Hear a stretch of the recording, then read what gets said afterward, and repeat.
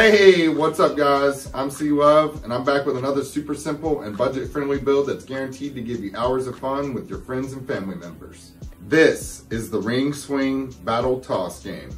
Now, I played a much larger version of this game, but this seemed like a lot of fun, so I made four of these smaller versions just to see what they look like and to show you how simple it is to make one for yourself. I'll provide measurements on screen and recommendations in the description for your build. You know I don't like to take a lot of time, so let's get right to it. Come on, let's take a look. Using a 2x6 for the base, a 1 inch dowel rod for the upright, and a 2x2 furring strip for the top, I will quickly make my cuts and mark the center of the top and bottom pieces.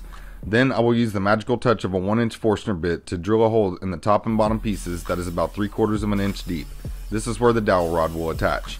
Then I will use the miter and table saws to put some custom angles on the edges of my ring swing to give it some unique character. I'll use a magnetic angle gauge to make sure that I'm right where I want to be.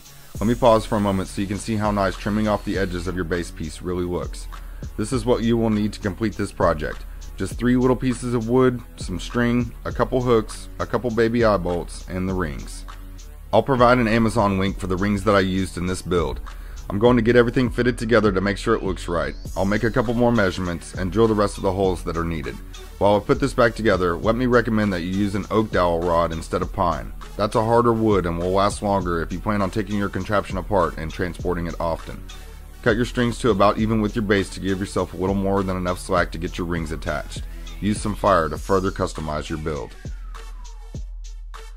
I want to thank my friends over at Starbond for sponsoring this part of my build. Their super glues are super great products that I've recently discovered that have proven useful in many different applications. I'll have a product review for those coming up soon. Check the description for a link to their website and make sure to use my discount code CURTIS10 to get a 10% discount on your order. I'll also provide a product link to Amazon. Using just a tiny bit of Starbond, I will apply super glue to all the knots and trim off the excess string. This is where I ended up after all of them were sanded down and cleaned up nicely, and as promised, here are the measurements that I used to make my four miniature ring swing battle games. Just in case you're still watching and don't have any idea what the concept is here, or if you just want to see what it looks like in action, my great friend Leo came over to play a couple rounds with me so I could show you how to play. First, you're going to need a scorekeeper. Other versions of this game have a separate board with a marker on it, but I chose to keep it a little more simple and use a dollar coin instead.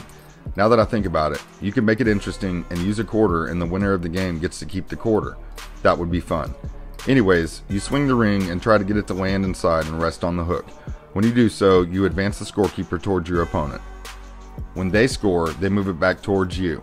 There are two imaginary spots on either side of the dowel rod to make a total of five imaginary places that my scorekeeper can sit. The game lasts until one person scores enough times to push the scorekeeper off the edge of the scoreboard.